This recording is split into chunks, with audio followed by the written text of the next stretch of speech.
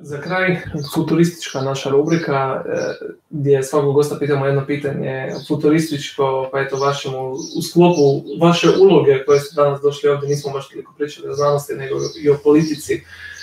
Kako Split izgleda 2050. 2050. godine Split će biti grad koji će imati recimo, e, a sad kad ja kažem Split, ja uvijek Split gledam, to je grad koji, koji je Trogir, Sinj, Omiš i Otoci. Ja to smatram za grad Split.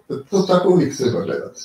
To će biti grad koji će 2050. godine imati jedno 400.000 stanovnika, koji će biti grad jedna od najljepših e, turističkih gradova na Mediteranu, koji će imati povezano turizam i modernu ekonomiju, kao što je sličan kao Tel Aviv.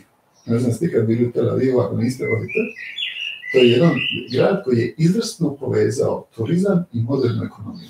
Tamo da vidite kako izgledaju njihove plaže, kako su ljudi dinamični, puno turista, a ima najviše startup kompanija po glavi stanovništva na svijetu.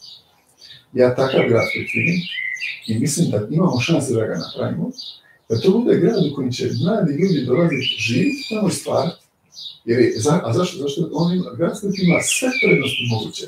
Ima izvrsnu klimu, situacija na Europi, na moru je, ima, ima kulturu i povijest.